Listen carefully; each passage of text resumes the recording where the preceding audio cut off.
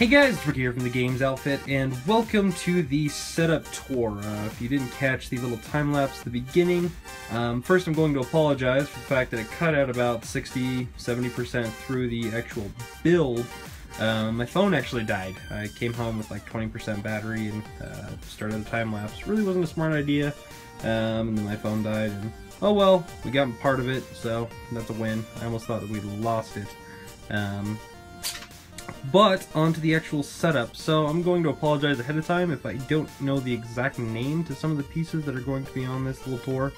Um, but we will jump through it as we go. Um, so first off, you might notice the uh, two Samsung 27-inch um, monitors. These are full 1080p um, at 120 hertz, so they're very fast, very fast monitors. Um, be able to support some high frames and some good games on those. And the second thing that might be catching your eye is the Razer Chroma keyboard. Um, this, is, this, is, probably my favorite keyboard that I've ever used, um, but I haven't really used too many, so you can't really take my my call for it. But it is a really good keyboard, and it's pretty to look at. Um, right next to that, I've got the Razer Aeriros wireless mouse. Um, and then right of that, we've got my microphone, which is the Blue Yeti um, currently don't have it plugged in because of laziness.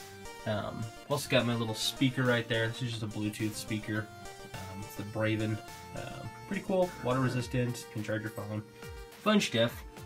Um, then I've got my Asus laptop right here, which don't really open it out too often, but you can see it right there. Cool stuff.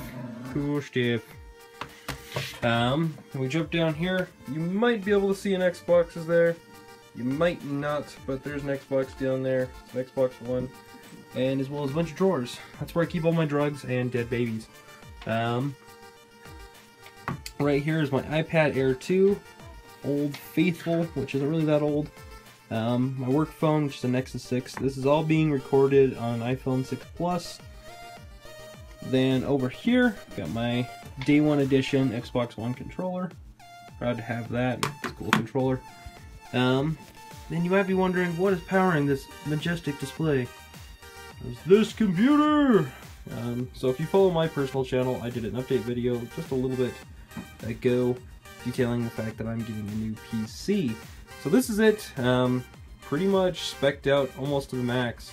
Um, i7, uh, GTX 980, 4 gig, um, 16 gigs of RAM, 250 gig solid state, uh, 4 terabyte, 7200 RPM hard or storage drive, um, Z97X motherboard. Um, thing is lightning fast. It's super. It's honestly one of the best things that I've ever actually used in terms of computing. So I'll be excited to see what kind of content I can create from this station. But I'll be completely honest with you, I still have yet to download all too much on it. Um, haven't had the time to properly sit down and just download all of my software and start to really make use of the device. So honestly, this video might be even edited on my previous computer, which was my iMac, and uh, might be the last one that I'll do on that platform. Um, but yeah, if you guys have any questions or anything below that isn't listed, if you noticed anything, Got little Minecraft figures right here. Um, yeah. Um, and... Okay.